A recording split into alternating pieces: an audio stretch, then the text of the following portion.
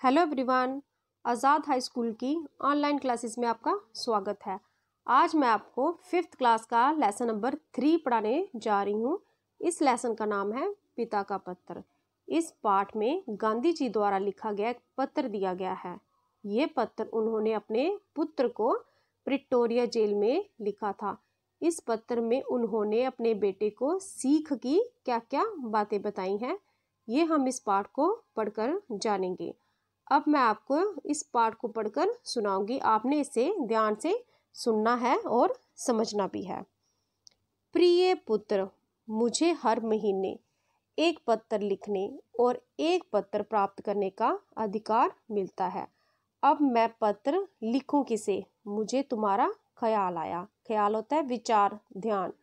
क्योंकि पढ़ने के समय तुम्हारा ही ध्यान मुझे बराबर रहता था। मेरे बारे में तुम ज़रा भी चिंता मत करना। मैं पूर्ण रूप से शांति में हूँ। पूर्ण रूप से, यानी कि पूरी तरह से। आशा है कि बा अच्छी हो गई होंगी। मुझे मालूम है कि तुम्हारे कुछ पत्र यहाँ आए हैं, लेकिन वे मुझे नहीं दिए गए। फिर भी गवर्नर की उदारता से मुझे मालूम हुआ कि बा का स्वास्थ्य सुधर रहा है। क्या वे फिर से चलने फिरने लगी? बा और तुम लोग सवेरे दूध के साथ साबुदाना बराबर ले रहे होंगे और अब तुम्हारे बारे में कुछ कहना चाहूँगा। तुम कैसे हो? तुम पर जो ज़िम्मेदारी मैंने डाली है, तुम उसके योग्य हो और उसे निभा रहे होंगे, मुझे आशा है। मैं जानता हूँ कि तुम्हें अपनी शिक्षा के प्रति असंतोष है। मैंने यहाँ जेल में खूब पढ़ा है। इससे मैं ये समझ, इससे मैं ये समझा हूँ कि केवल अक्षर ज्ञान ही शिक्षा नहीं है। सच्ची शिक्षा तो चरित्र निर्माण और कर्तव्य का बोध है। बोध होता है ज्ञान। यदि ये दृष्टिकोण सही है और मेरे विचार से ये बिल्कुल ठीक है तो तुम सच्ची शिक्षा प्राप्त कर रहे हो। आजकल तुम्हें अपनी बीमार माँ की सेवा करने का अवसर मिला है। रामदास और देवदास को भी तुम संभाल रहे हो।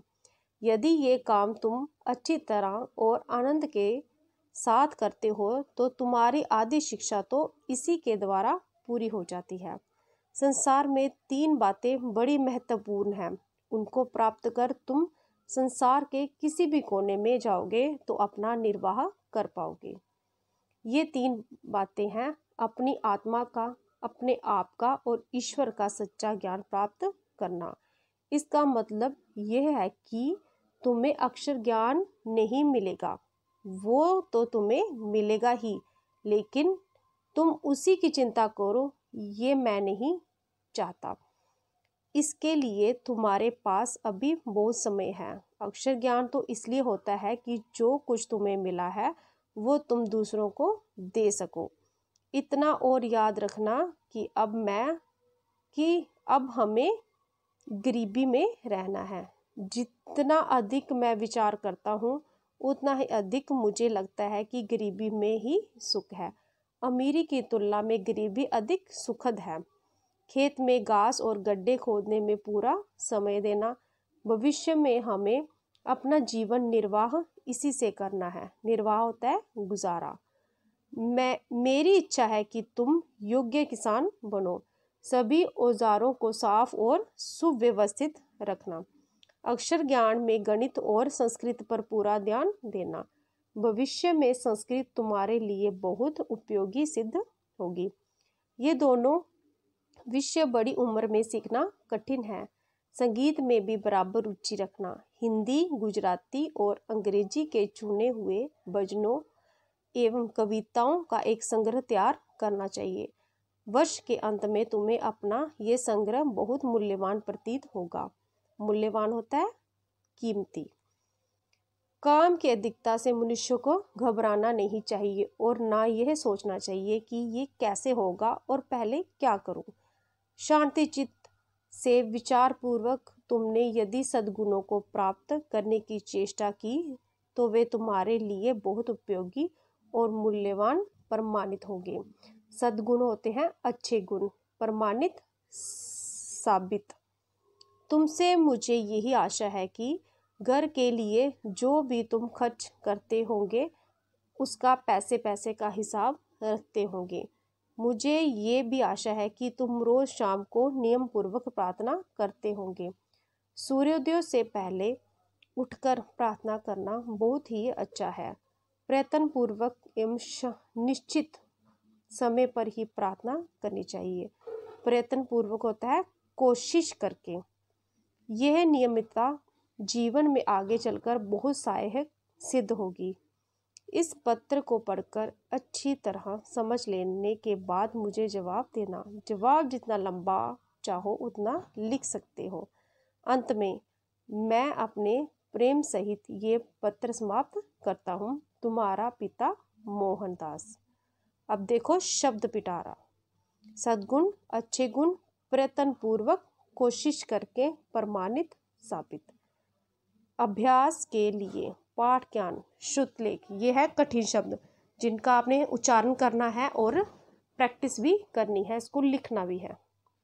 पूर्ण रूप, दृष्टिकोण, कर्तव्य, निर्वाह, मूल्यवान, प्रमाणित नियम पूर्वक प्रयत्न पूर्वक नियमिता सूर्योदय। मुख से, यह पत्र किसने किसको लिखा? यह पत्र गांधी जी ने अपने बेटे को लिखा। गांधी जी को हर महीने कितने पत्र लिखने का अधिकार मिला था?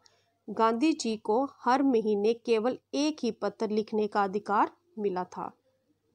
ग पाठ। गांधी जी ने पत्र में अपने पुत्र को क्या क्या बातें समझाई हैं? उत्तर है, गांधी जी ने अपने पुत्र को शिक्षा की ओर घर की ज़िम्मेदारी से संबंधित सभी बातें समझाई हैं। ग पाठ, गांधी जी ने पत्र में किन तीन महत्वपूर्ण बातों की चर्चा की है? उत्तर है, गांधी जी ने पत्र में यह तीन महत्वपूर्ण बातें बताई हैं कि अपनी आत्मा का, अपने आप का और ईश्वर का सच्चा ज्ञान प्राप्त करना। कलम से, क पाठ ये पत्र कहाँ से लिखा गया? सही उत्तर है प्रिटोरिया जेल से। ख पाठ, गांधी जी के अनुसार क्या अधिक सुखद है? उत्तर है, गरीबी। ग पाठ, गांधी जी ने अपने पुत्र को किन दो विषयों पर पूरा ध्यान देने के लिए कहा है? इसका सही उत्तर है, गणित और संस्कृत।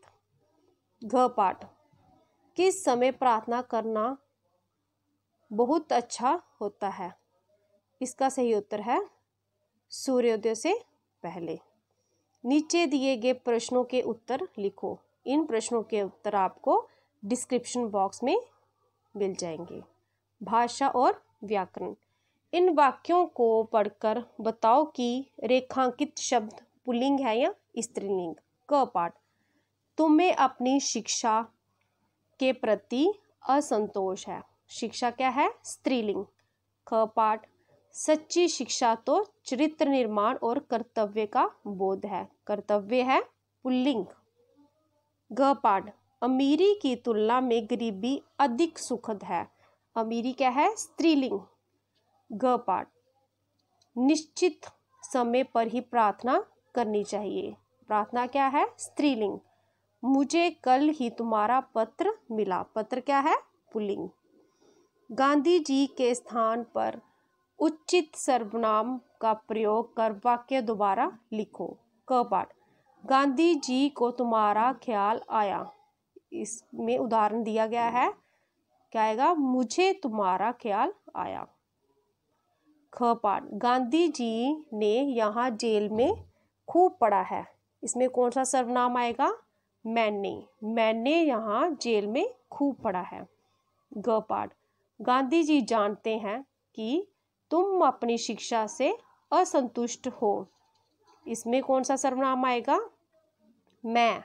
मैं जानता हूँ कि तुम अपनी शिक्षा से असंतुष्ट हो। आगे देखो, शब्द बनाओ।